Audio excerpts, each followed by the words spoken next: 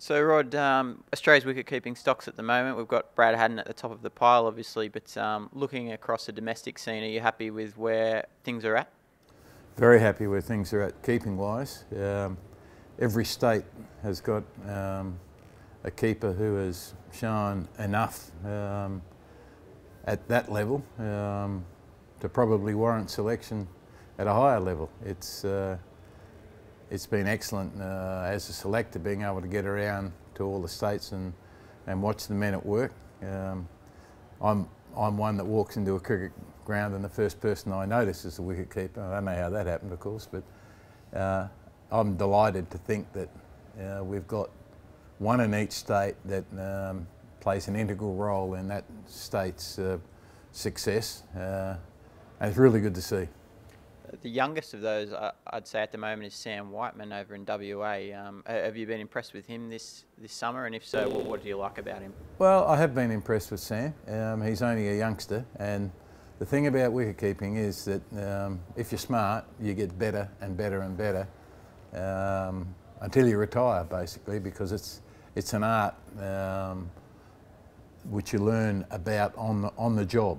Um, you can do all the drills and you can do all the practice you like, but until you actually play under different conditions uh, and understand just where to stand and, and how to play the percentages, um, then that's when you really get to learn about uh, wicket keeping. And Sam is, is only a novice at this stage because he's only kept a couple of seasons. But what he has done is got better in those couple of seasons and his batting uh, has been terrific. I think he made five or six fifties this year, which is uh, without getting a 100, but uh, they will come. He's a good cricketer. But having said that, um, you know, there's plenty of them. And if you work through the states, Ludeman had a fantastic year uh, with the gloves. He's, um, he's just getting better and better uh, with age. His batting uh, is improving all the time. He's getting important runs for both South Australia and the strikers. Matthew Wade, well, he's already got two test hundreds.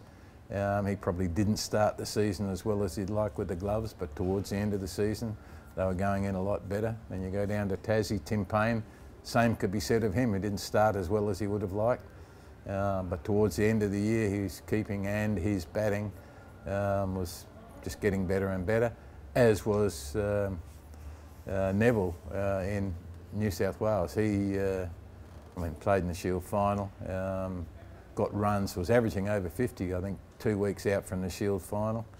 And then, uh, of course, you've got the Evergreen uh, up in Queensland, Chris Hartley, who, uh, I mean, he's just been a very, very good performer at Shield level for, for a long time. So, you know, we're pretty healthy in that department. Um, and, you know, when it does come time for uh, Brad to go, it's going to be a difficult decision, which is good.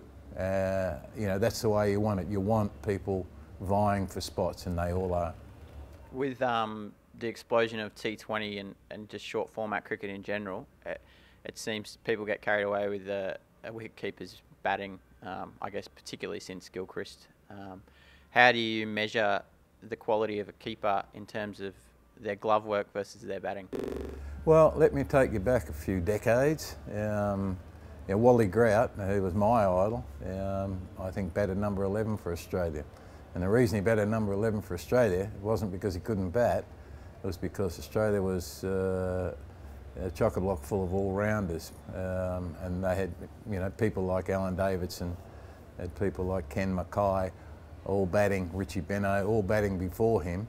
And uh, you know, the thing about it is, uh, with some of our young bowlers and the way they bat, maybe uh, it can get back to that stage where the keeper doesn't necessarily have to hold down uh, the number seven spot.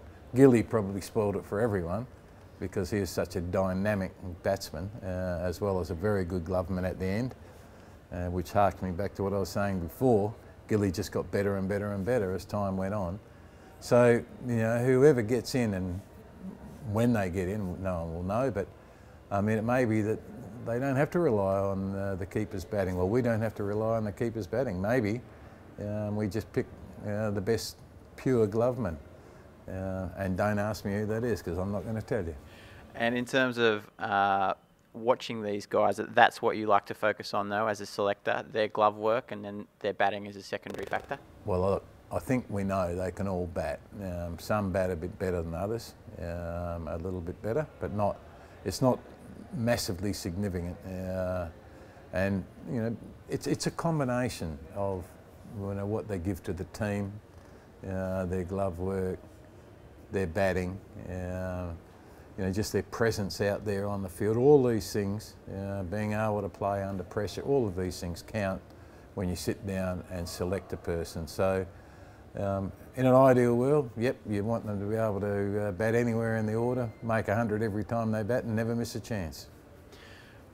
Do you see a young keeper and just know that that kid has it? I mean, um, had you seen that previously with maybe Healy or Gilchrist or Haddin? You know that they've got the talent um, to go all the way, but talent is uh, is insignificant, really. I mean, talent is um, you know, it's a gift, but you know, talent you need to work with it to be good.